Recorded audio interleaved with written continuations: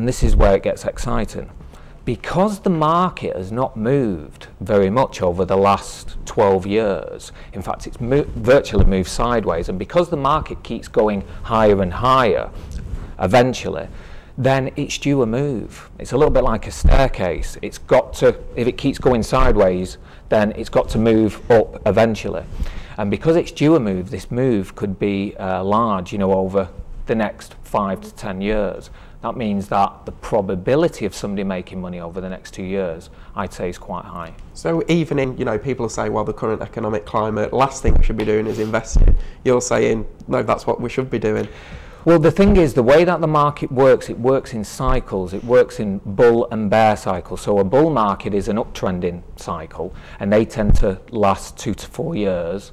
A bear market is when the market goes down, and they tend to last about nine to 18 months.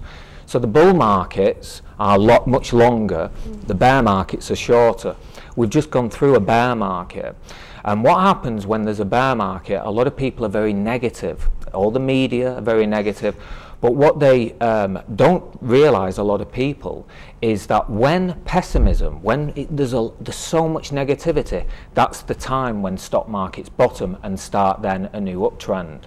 So to give you an example of that, over the last seven and a half months, my portfolio, our client's portfolio have made 55.9%. Now that's not to brag or boast of anything like that, it's just to prove a point and that is that even though the media would have you believe that it's all doom and gloom and that, that you know that the world is going to end, it's actually a really good time and that performance over that period of time is saying that the market could be much stronger than most people actually believe.